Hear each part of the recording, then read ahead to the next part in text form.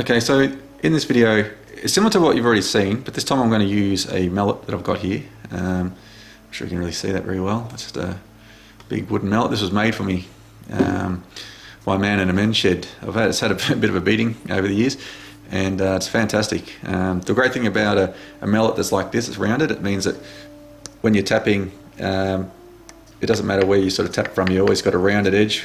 Whereas if you've got something that's like that, it's it can just sort of slip off. But a rounded edge just sort of works really well. So if you can find something like this, uh, very very handy.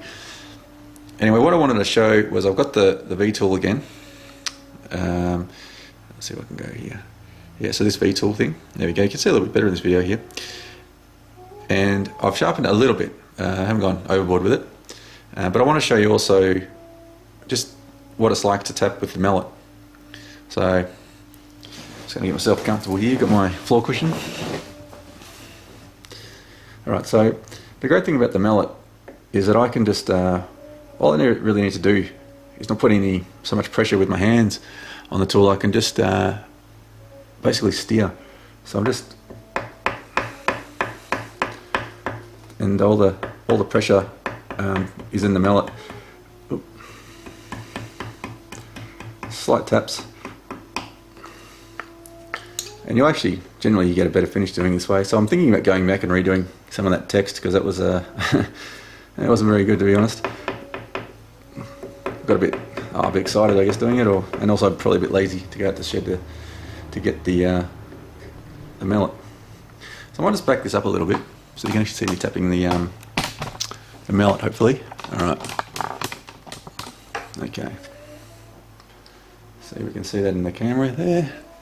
No, we'll move it a little bit over this way. So, here we go.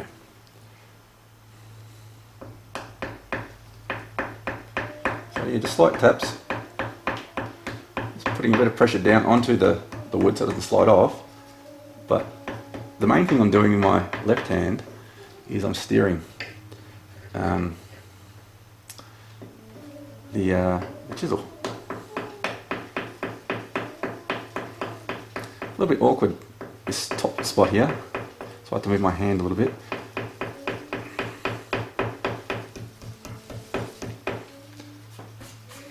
A little bit I've missed just there, so let's go back over. Very slightly tap in there.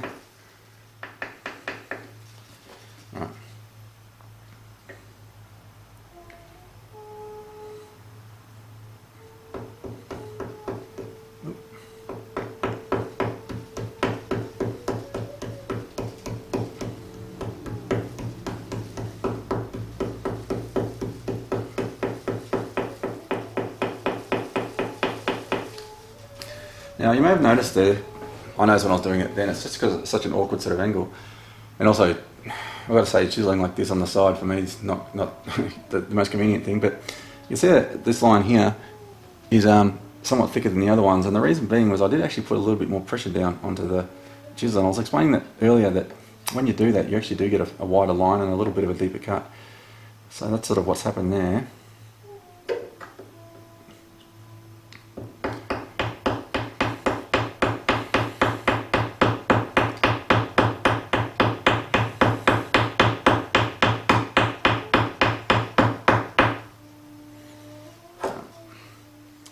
Go back around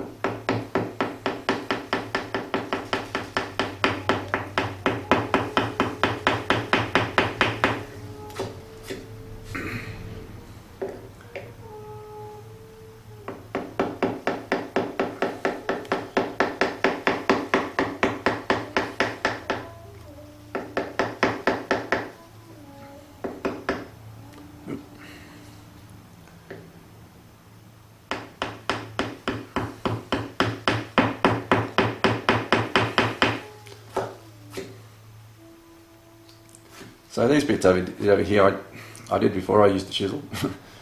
That's why I chisel the mallet, and uh, you can see that they're they're pretty sloppy.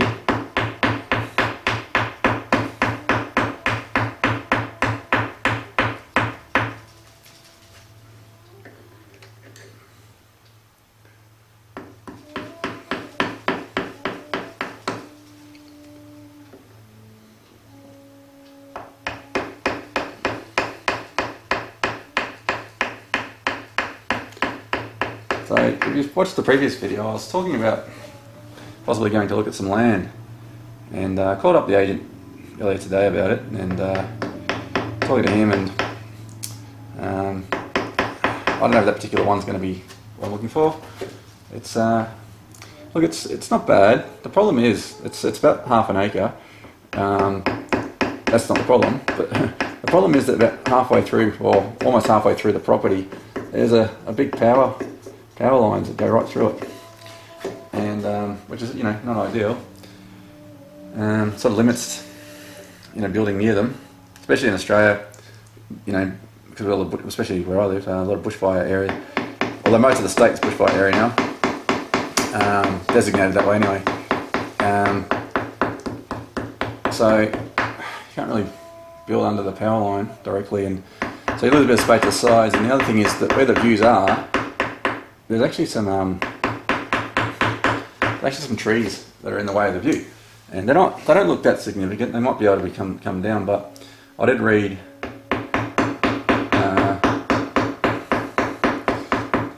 some information about that particular municipality, and that was one of the things that the, the council you do need to apply to see whether you can remove tr- these trees or not. So that could be a problem if it's blocking the view. Um, so it's not great in that sense.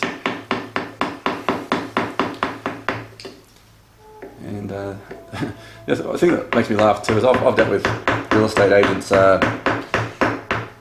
quite a lot over the years to do with the sort of work I used to do, and uh, even now recently looking for some land, and uh, they really are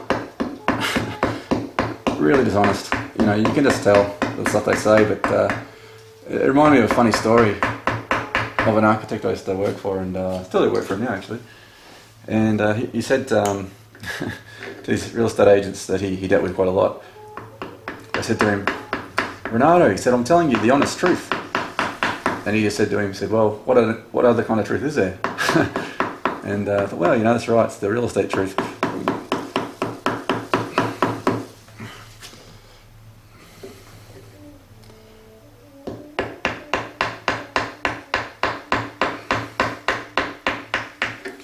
Makes me laugh though when they they make uh, places that are in the middle of nowhere that have been on the market for years sound like it's hot property and everybody's chasing it. And you think, well, if it's so good, uh, you know, why isn't it sold? Um, thing is, too, I've noticed that uh, in Australia, at least in Victoria, um, that unless you pay money, generally, to find out um, or how long a uh, property's been on the market, uh, it's hard to find that information out without paying. But uh, some years ago, I, I wrote myself a program that sort of does that. A bit, a bit sort of uh, cheeky the way I've gone about it. Uh, I don't think it's exactly illegal. uh, it's basically doing what's a program, something that does what's basically called scraping the data from the real estate websites. And I found a way by really going through the websites and tracing it back um, how to get that information. So uh, one of the websites, the main websites, actually got onto it, and they they did a pretty good job of blocking it. Uh, but another one, probably the main one, hasn't, which is good. Which is good because I make some revenue off that because I've put it on the website and uh, people use it. So let's get advertising revenue, which is good. Um, but yeah, I, I, wrote, I, look, I just really wrote it for myself initially. I thought oh, it's kind of useful. I'll make it available for other people and try and make a few dollars off it. So not don't make mega bucks. you know, might make a, a dollar or two a day, but over a year, I guess it's not bad. You know, the website I think it cost me about I don't know. Uh, well, I've got a few websites actually, so I pay about ten dollars a month for three websites, and the yearly one, the yearly rate for the one, that one I'm talking about, the real estate one is uh, oh, I think that's only like 20 bucks, 20, 30 bucks, something like that for the domain name and stuff. I could probably get cheaper actually. Um, but it's, it's alright. I think actually I might, oh, I can't remember how much I pay because I've got a few, as I said, but uh, I've changed between different hosting companies over the years, so.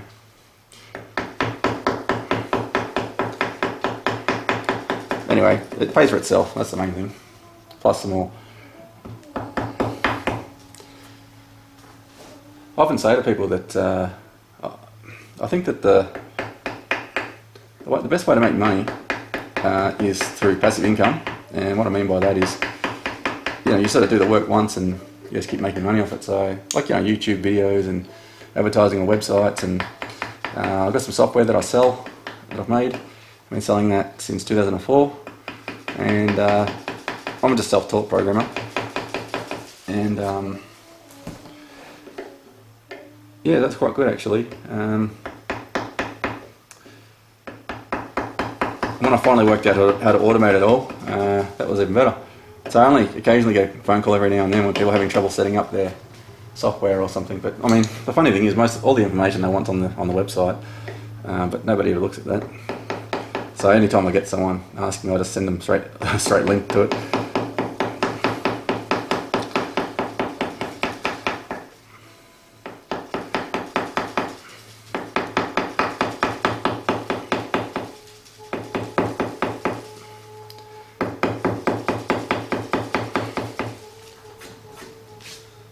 Okay, so it's starting to come along. I'm probably going to stop this here. I just wanted to give you an idea about how I was using the mallet.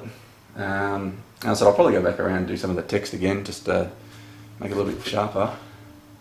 But uh, yeah, I'm going to stop here because um, it's uh, way past lunchtime and I'm, I'm very hungry. So um, yeah, if you have any questions or anything, just um, ask away and I'll keep going. Um, this pro uh, project's a work, you know, uh, work in progress, and I come up with a little ideas as I'm going along. So.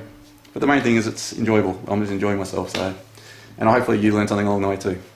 So uh, until next video, um, hope you enjoyed.